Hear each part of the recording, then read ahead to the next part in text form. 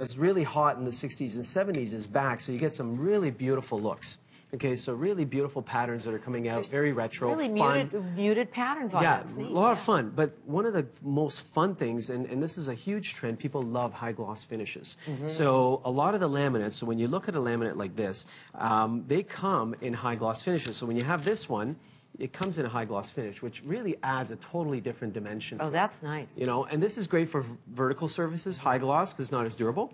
Um, if they bring up a quick picture, you Yeah. can see the, the technology in, in, in the photography. That's is that? actually laminate. That's not On the wood? Yeah. That's not wood? That's not wood. That's Oh, laminate. that's so you, you get that beautiful look, right? You have so another lastly, picture too. Don't you have another picture too for of laminate yeah, as well? that's another picture of laminate again. If you Okay, have an existing nice. table that's wood that you don't like the knots in it, you throw a piece of laminate on top, leave the wood edge, and you get that look, right? Yeah, I Lastly, I want to quickly just talk about the Stevens Wood product. Yeah. Uh, everybody knows they open their kitchen cabinets, they see white, that's melamine. But melamine's a different world now. You have it looking just like wood.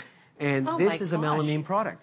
And it's even got a texture as you touch it. It feels like wood. Yes. But what's beautiful about this, they, they have it available in the melamine and also in a laminate. So the same product in a laminate. So now you can use this in many different ways. So this last picture that we're going to show you Okay. is a kitchen that's done with this melamine and laminate. So every part of it. So now you can do the doors, the gables, the That panels. So, so- you have that consistency. that looks like real wood. It does. Yeah. But look, you see this? This is melamine. So this door is a five-piece door. So they also make a door to match all this stuff. So you can order your doors, and it looks like a Ah. wood door, but it's melamine. It's durable. It's more cost-effective, and it won't warp, and you don't want, won't Yeah, have all the right. all the problems of real wood. But you know, so you get this beautiful look. And do you want one last one? I know we're done, but right, last.